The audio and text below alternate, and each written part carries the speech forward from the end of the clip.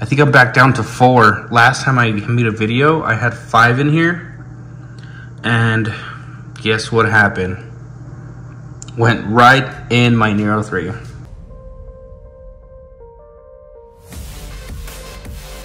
What is up, YouTube? Co-reefing here. Just updating you guys on this tank. I don't think I've had an update on this one in a little bit. You guys probably notice three new clownfish swimming around. Those guys we actually got from Reef Stock. We got three clownfish with I think I think two of them are some sort of black eyes clownfish. We got all three of them for 50 bucks, which I didn't think was a bad deal. And I did have four clownfish in here. The other one being the oldest clown in this tank, which he was in here for about three and a half years, maybe. He passed away and it was sad, guys. Years of academy training wasted. Some of these corals are still doing okay. This is a little Goniopora, and this wasn't coming out at all, but it seems to be coming back. Got this little green nem there just chilling. It seems to be doing fine as well. The anemones, I think I'm back down to four. Last time I made a video, I had five in here. And guess what happened? Went right in my Nero 3. Oh no, not again! So this tank actually got a water change for once. The tank is clean! Because I don't do water changes on this tank, I only use those C-Lab number 28 pills in here. And I'll just drop one in every like two weeks or so. And it seems to be doing fine. I don't have any sticks in here or anything crazy. The Xenia is taking over that one rock. It's almost like covered, to be honest. If you guys go back like a video, it was probably a third of this rock and now it's just engulfing it. We did pick up this Duncan coral that has like, I don't know, 15 heads for like 20 or 25 bucks, I want to say. Maybe 30 at the most from Reef Stock. On this side, we still have the carpet nem just kind of hanging out. Seems to like that spot. And another anemone on this side. So there's three on the other side and one here.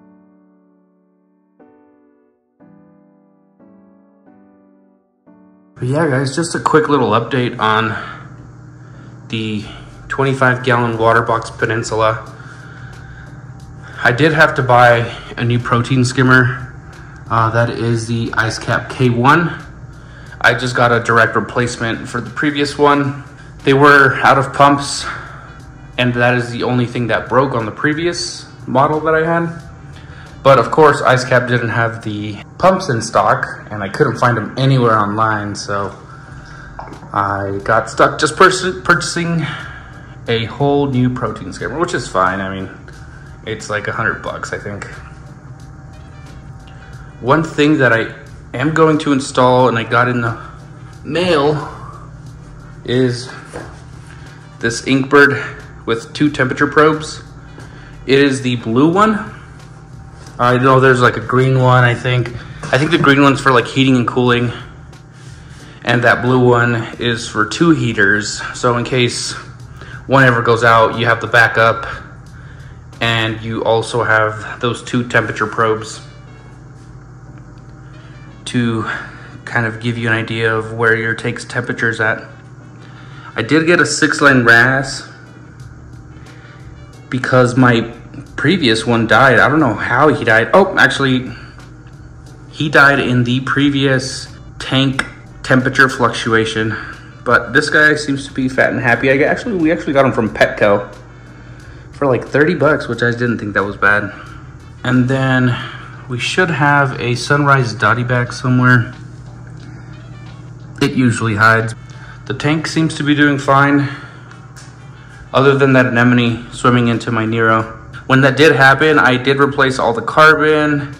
I did replace the ChemiPure that I do keep in the media basket as well. And I took out about 15 gallons. I think my three and a half year old clown died because of the toxins that the anemone released into the water. I mean, he died like the day of, if not the day after.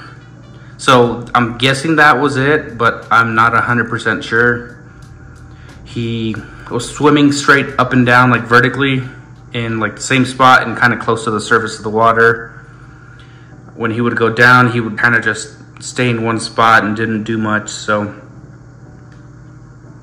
yeah, uh, that sucked losing him, but we have three other Nemos in here that actually went uh, straight into the anemones because of the other Nemo that I had. He he lived in them, and he kind of showed these three guys his ways, and they're always in the anemones as well.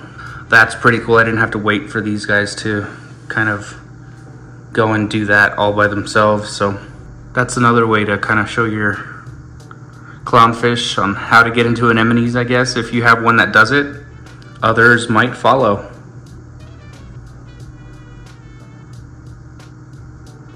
I will let you guys get back to whatever you were doing. Uh, please like, comment, subscribe, and uh, let me know if you guys have any questions on anything. All right, guys. Co-reefing out.